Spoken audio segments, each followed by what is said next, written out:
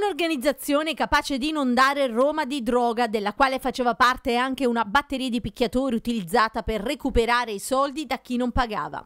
L'ha sgominata la Guardia di Finanza al termine di un'indagine coordinata dalla Procura di Roma che ha portato all'emissione di 51 misure cautelari da parte del GIP. Sono oltre 400 i finanzieri che hanno eseguito gli arresti tra Lazio, Calabria e Sicilia.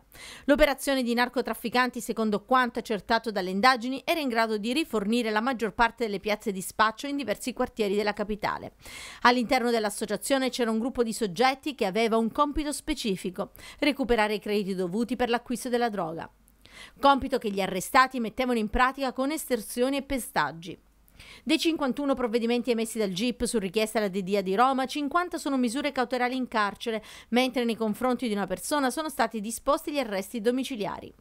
L'operazione denominata Grande Raccordo Criminale viene eseguita con il supporto di elicotteri e unità cinofili.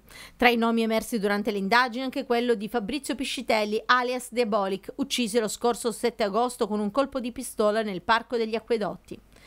Per gli inquirenti Piscitelli era uno dei riferenti della criminalità organizzata per far entrare la droga, figura di riferimento nel controllo del territorio, nonché di garanzia e affidabilità dell'associazione, che si avvantaggiava della sua leadership. Godeva, sostengono gli inquirenti, di un particolare riconoscimento nella malavita e operava avvalendosi di personaggi altri ultras come Ettore Abramo, conosciuto come Pluto, 53 anni, Aniello Marotta, 43 e Alessandro Telic, 32.